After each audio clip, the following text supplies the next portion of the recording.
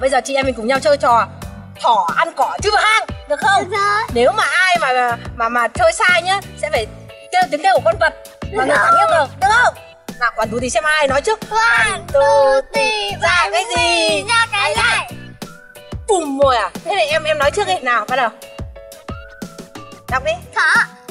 Ăn cỏ. Ơ, nhầm sai. Bây giờ chị phải kêu tiếng con gì nào nghe tiếng của con hổ. Đấy, đúng không? Nào, tiếp tục, bây giờ đến lượt chị nhá. Thỏ. Ăn cỏ. Chui vào hang Chui vào hang.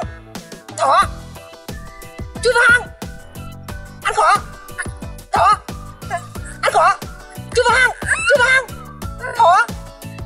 À sai Bây giờ em phải kêu tiếng kêu của con con vịt. Phải vẫy cánh nữa nhá Bây giờ đến lượt em lần cuối nhá Thỏ. Ăn cà rốt. Xí nhầm máy quá Ăn tai.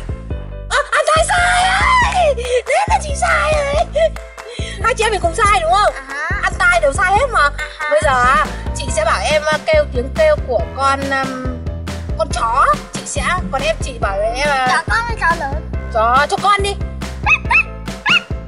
Bây giờ em bảo chị kêu con gì nào? Kêu con Con nhợn nhé À, chú kêu con nhợn đi. Xong rồi chú làm cái mũi con nhợn Chú làm cái đấy đẹp. Út. Còn chị làm mà con chó.